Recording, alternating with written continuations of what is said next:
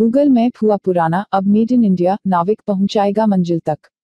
जब भी हम किसी अनजान जगह पर जाते हैं और रास्ता भटक जाते हैं तो हमारे जेहन में सबसे पहले ख्याल आता है गूगल मैप का। जिसकी मदद से हम बिना किसी से पूछे अपनी डेस्टिनेशन तक आसानी से पहुँच जाते हैं। लेकिन अब आपको अपनी मंजिल तक पहुँचने के लिए गूगल मैप पर डिपेंड नहीं रहना पड़ेगा। बल्कि सिर्फ़ एक क्लिक पर आप देसी डिजिटल मैप, नाविक के सहारे अपनी मंजिल तक का सफ़र तय कर पाएँगे। इसरो और इट डिपार्टमेंट ने मिलकर किया तैयार।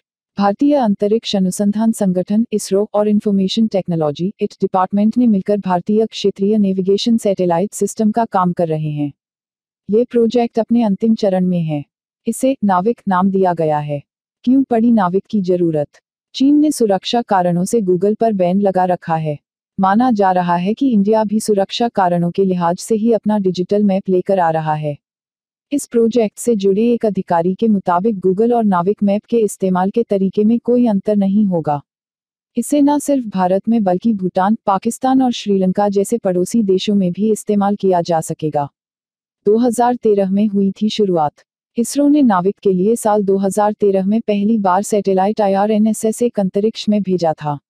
अभी तक सात सैटेलाइट के ज़रिए नाविक के लिए ज़रूरी इन्फॉर्मेशन सिस्टम तैयार किया जा चुका है।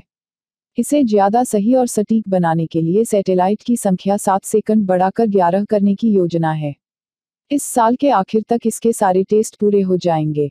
उम्मीद है कि अगले साल इसे आम आदमी तक उपलब्ध कराया जा सकेगा। केकी न्यूज़ में अब तक इतना ही। आपको हमारा वीडियो पसंद आया हो तो इसे लाइक और शेयर करना ना भूले। और हमारा चैनल सब्सक्राइब करना ना भूले। धन्यवाद।